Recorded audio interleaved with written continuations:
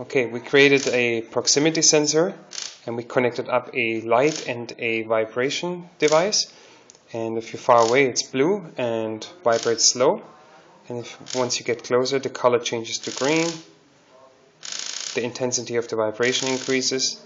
And when you come really close, it changes to red and vibrates very fast. And we did this to create a a feedback mechanism for a prosthetic finger that would, uh, when you, for example, cut the onion, tell you that you come close with your knife to your finger. And then it would vibrate very fast and you know that you're in a danger zone.